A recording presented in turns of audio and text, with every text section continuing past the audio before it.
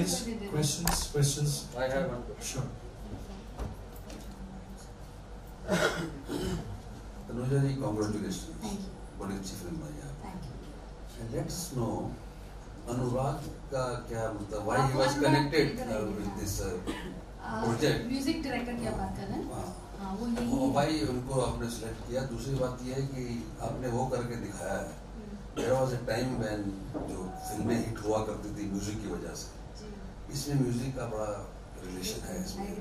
तो इसके बारे में बताइए।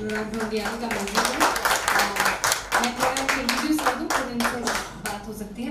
बेसिकली जो माहौल था इस पिक्चर का बहुत ही हिंदुस्तानी माहौल था। सो फॉर मी ऑल्सो क्योंकि हम बॉलीवुड गाने बनाते हैं तो मेरे लिए भी एक अलग चीज़ थी मेरे लिए भी as a director was very enjoyable कि एक क्लासिकल बेस से, और ये बहुत ही क्लासिकली ट्रेंड हैं इनफैक्ट सारे वोकल्स इनके ही हैं, इन्होंने गीत गाए हैं। Um, so it was just beautiful, yeah. It's just, मतलब it's a it's a dream voice, it's a beautiful voice. So so I was in fact end credits में तो मैंने फिर इनको बोल दिया था अभी तीन मिनट के end credits है गाइए बस you know just left him loose. That was all ad lib. If you remember, studio में खड़ा कि just sang, you know, such a beautiful voice. Uh, so I per- personally am thrilled with the music and I'm so happy that you're here and talk talk. uh, I don't know the, the ad-lib part that uh, Tanuja speaks of. I तीन बजे हुए थे studio में और रात को तनुजा से यार बस दिल से गाओ और गाओ वो पूरा का पूरा एक टेक में गाया हुआ है जो हुआ वो हम लोगों ने लेकर सीधा लगा दिया was a very different journey. I've been doing a lot of independent stuff. Um, uh, बहुत सारी short films और uh, ads, jingles ये सब चीज़ें तो करते ही रहते हैं।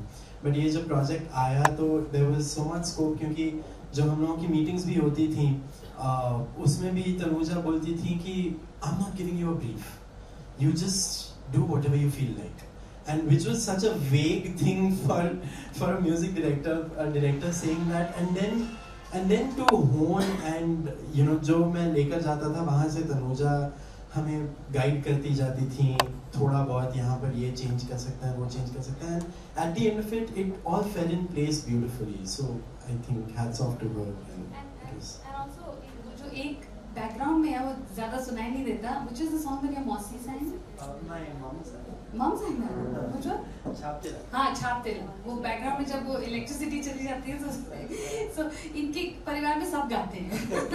सब musically In near future, you you you want to become music director or playback singer? Or both, both together along? Yeah. Uh, I actually am looking at becoming, getting into the indie scene more than that. So, composer, performer, wo type ka, that's what I'm building right now.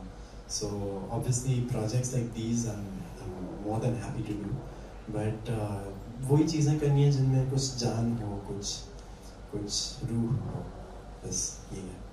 Uh, and I think what I liked about the film was the fact that that yearning, that that wo uh, baatein, and the fact that that wistfulness, you know, the end of it that you feel. Yeah, I, I, I do mean? think that uh, the medium allows for that, and that's yeah. the great liberating feeling yeah. because uh, because there, there is uh, you know, there are all sorts of demands on a feature film to be theatrically released. Yeah, and yeah. then you, when you don't have those uh, limitations, then you can really speak in another language, and that's that's a lovely thing. I mean, I think there should be all kinds of storytelling.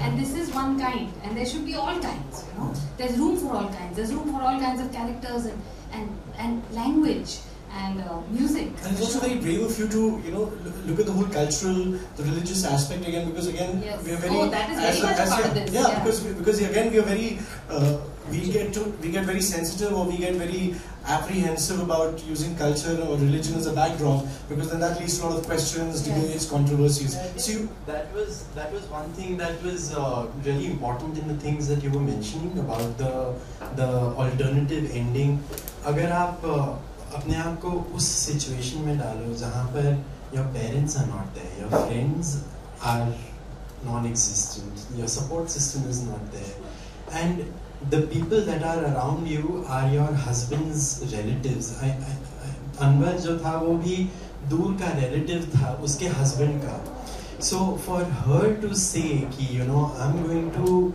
you know put everything aside and put my happiness and you know do this Anwar couldn't have done that because his family is there. She couldn't have done that. She doesn't have anything. So, you know, that helplessness, वो विवशता जो है, जो you know, that that is something वो घुटन जो feel होती है, वो एक सिल्वर रह जाती है हल्की सी।